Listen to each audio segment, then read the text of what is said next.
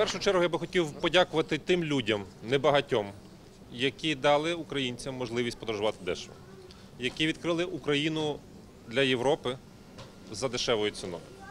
Безумовно, тут першу роль зіграв президент України. Я хотів подякувати щиро керівнику аеропорта Бориспіль Павлу Рябікіну. Також сьогодні з нами її немає, але це керівник аеропорта Львів. Що саме цього року, що саме з двох державних аеропортів, номер один авіакомпанія Європейського Союзу, найдешевші авіакомпанії світу починають літати в Україну. Це великий крок вперед для всієї держави. Це те звичайне буденне життя, яке ми будемо мати в Україні найближчим часом.